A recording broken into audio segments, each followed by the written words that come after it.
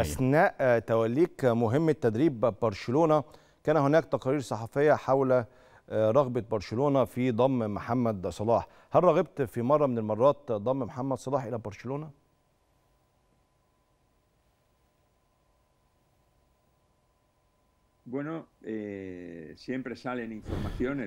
هناك الكثير من التقارير تخرج في كل الأوقات ولكن عندما كنت في برشلونة لم نتحدث عن تلك الإمكانية.